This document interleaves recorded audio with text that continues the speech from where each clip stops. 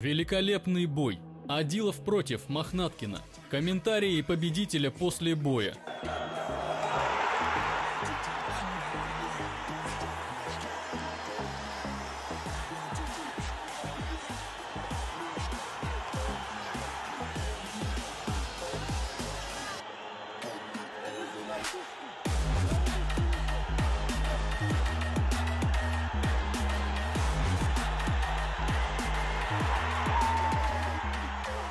Что за кипиш был в клетке после вашего боя? Я ему пожал руку Мишу, и ему даю руку, а он, не знаю, вот так меня толкнул, что ли, я бросил мою руку, и я на эмоциях себя не сдержал.